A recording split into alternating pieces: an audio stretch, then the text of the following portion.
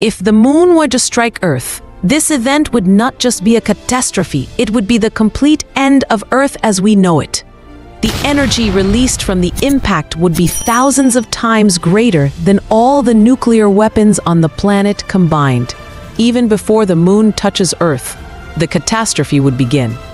At its closest approach, its immense gravity would cause a colossal tide with tsunamis hundreds of meters high sweeping across the world's coastlines, destroying coastal cities.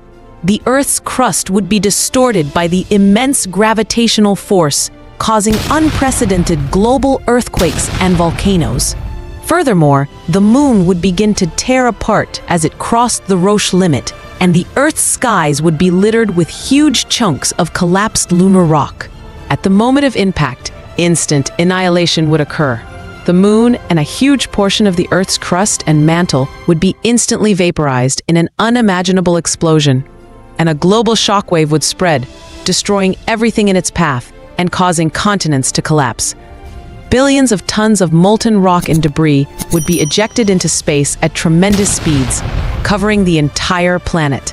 Then, in the hours and days that followed, this ejected debris would re-enter the atmosphere as a shower of fiery meteoroids, heating the air to thousands of degrees and igniting a global firestorm that would consume the entire surface of the Earth. The intense heat would boil and evaporate the oceans, creating an extremely dense atmosphere of hot steam. The dust and steam would plunge the planet into darkness for years. In short, nothing would survive. All life on Earth would be wiped out, and the Earth's surface would be transformed into an ocean of lava for thousands of years. The event would represent a violent and complete reboot of the planet, erasing its entire biological and geological history. The molten planet might cool millions of years later, and the remaining debris would gather in orbit to form a new, smaller moon. But it would be a brand new Earth. Don't worry though, because this was all just science fiction. The moon is actually slowly moving away from Earth.